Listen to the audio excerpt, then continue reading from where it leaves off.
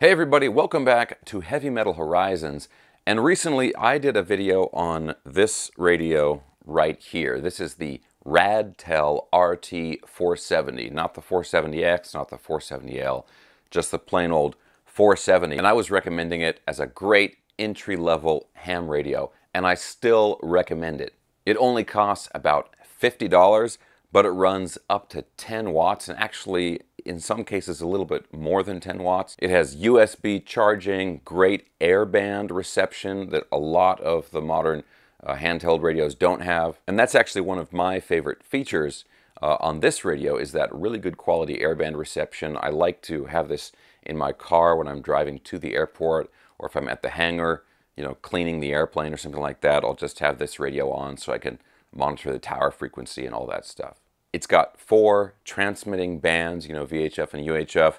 Uh, it's got frequency copying, great battery life, all kinds of cool features at a really great price. You get this radio and maybe a hand mic and a big antenna and you're set. So this was already a great radio, but now what has happened is that the company itself, not some random guy on the internet, but the company itself has released some upgraded firmware for this radio which totally opens up what you can do with it. Now in this video, I'm going to show you how to use the programming software and also how to upgrade the firmware on this radio. And then I'll, I'll show you a little bit of you know the new capabilities it has. But of course, guys, real quick, if you like videos like this, here at Heavy Metal Horizons, we do cars, aviation, and radio. If you like that stuff and you have not already subscribed, please consider subscribing right now. Okay, now I want to say uh, at the beginning here that this new firmware allows you to do some things that you're really not supposed to do with the radio. So just be aware of that. If you're new to this stuff and you don't know what you're doing, make sure you thoroughly research your FCC regulations and all that stuff so uh, you're not going to be accidentally violating anything with the new capabilities of this radio. Okay, so the big thing here is what does the new firmware do?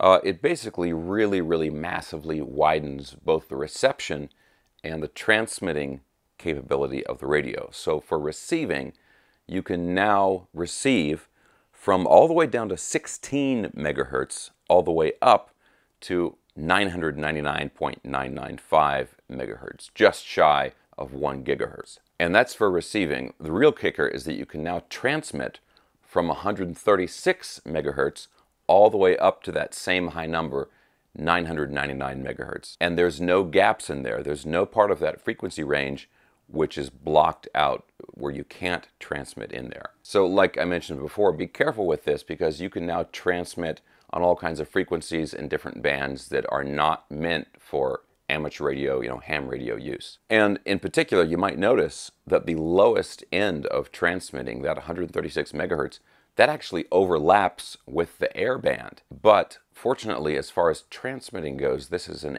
FM only radio. So, uh, and the air band is AM. So there's not much chance of interference, although it is still possible. But just in general, just don't transmit on 136 megahertz. Okay, so now let's really get into the meat of this video. I've got my computer set up over here with the screen capture going and I'm going to show you first how to use the programming software for this radio and then second how to do the firmware upgrade which uses a different software. So I've got the radio here and then I also have my USB programming cable and this obviously just plugs into the side ports here and then the other end goes into the computer. But let's go ahead and plug this in and take a look. Okay guys, so the first thing I want to point out here is where do you get this software. You go to the website, it's just radtels.com, and then you go to uh, support and software download. And then you've got all of the model numbers for the radio. So you got to scroll down here and you got to find the uh, RT470. And if you look on here, there's two different versions of this radio. There's like an older version and a newer version. But the one you're looking for uh, is the RT470 10 watt, either the old PCB or the new PCB. And so depending on which one you have, you download a different firmware. And the way you tell which one you have is you turn on the radio and you go to the menu here. I'll see if I can show you this. And then you actually just go to the very last uh, menu option, which is going to be like, I think it's number 51 or 52, right around there. And it'll just say version, and then it says which firmware you currently have. And if the firmware you currently have is starts with a 1, then that's the old version. If it starts with a 2, that's the new version. So just depending on which radio you have, make sure you download the right software. I've got the old version, so I download the software for the firmware that starts with a 1 and then goes to something else. It was like 1.2 in the case of the radio that I had. Okay, so once you've got the software, now we just want to plug in the radio and all you do is you plug the USB uh, end into the computer, plug in the, uh, the radio over here, goes right into the side, and then turn on the radio. That's all you got to do with the radio, at least for now. Now I'm going to go ahead and load up the software here. It's called All Band Walkie. This is the software right here. I'm going to make this a little easier to see. But the trick is, in order for the software to communicate to the radio, you got to know which port it's using. So what we do here is you go, and this is Windows 10 by the way, but you go into settings and you want to go to devices and then it's going to load up all this stuff, you know, eh, all your hard drives and that kind of stuff. Look down at the bottom here. It says USB serial CH340 COM10. COM10 is what is important. So just remember that, COM10, or write it down. Then back in the software here, we go to Settings, Port, and now you choose it's given me three options, COM3, COM1, COM10. I select COM10, press OK. Now I can go up here and click the read button and I hit OK. It's still in Chinese. I'm going to hit that. And now it's going to read, it's going to communicate with and read what's on the radio. And now we've got all of our channels, the channel information. You've got your split for repeaters, PL tones, all this information is on here. And if you want to change this stuff, just go into one of these fields, type something, and then when you're done with everything, you hit write, and it'll save it to the radio. And that's really all there is to it. Now there's one more really important thing here. If you go to edit, optional features, it'll pop up another window here. This is going to be all of the other stuff that you can control in the radio. So wideband or narrowband, the frequency step, uh, transmitter power, do you want the voice in English, do you want the voice in Chinese? All those other options are done through this menu here. So again, once you've made all the changes you want, close that and hit write, and then it'll save it to the radio. And that's really all there is to using the programming software. Pretty easy to use, but now now let's go to the firmware upgrade, which actually uses a different piece of software. And back here on the website, you can see it'll say firmware to expand frequency. It's got three different versions. I'm using the latest version. You download this, and when you load it up, it's going to come with the separate piece of software, which is, you know, loads the, the bootloader, which loads the firmware. So open that up.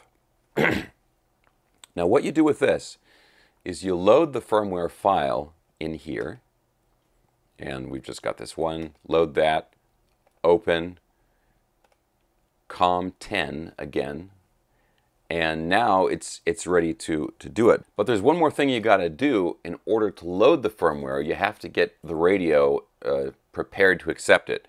The way you do it it's a little tricky you got to press down the two side buttons not the push to talk but the two buttons below it hold them both down, and then turn on the radio, and you see that light, that light will come on. Okay, it stays on, let go of the buttons. Now it's ready to receive the firmware. So now we're going to go back and our, our firmware is all ready to go. Now we just hit load. It's again, it's in Chinese, but let's hit that button right there. And look, this thing's flashing now. Boom, 100%. The radio resets, and you now have the new firmware installed. Now you can close this, close this, turn the radio off, unplug it, and turn it back on. And that is it.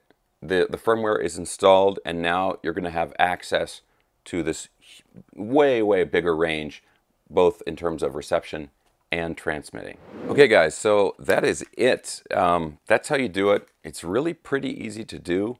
And all of that software and the firmware file, all of that stuff is available from the RadTel website. And I think that's one of the coolest things about this is that, you know, the, the um, what is it, like the UV-K5 radios, there are a lot of uh, firmware upgrades for those radios, but those are kind of like open source firmware.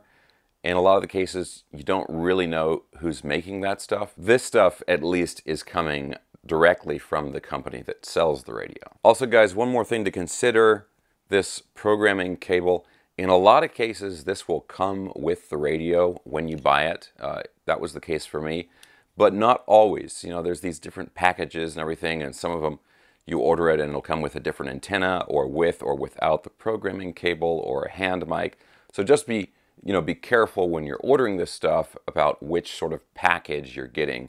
And if you want to do the, uh, the programming software or the firmware upgrades, you're definitely going to need this. All right, guys, so that is it for this video. I hope that was helpful for anybody out there. And again, uh, I really, you know, I continue to be a big fan of this radio. If you're getting into ham radio, amateur radio stuff, uh, I think this is a great one to start with just because of all of the features, the uh, reception, sound quality, and obviously the price. So guys, I'm to have links for everything I was talking about in the video, all the software and everything, links down in the video description below. And guys, if you enjoyed this video, please give me a thumbs up, subscribe if you haven't already, and I'll talk to you soon.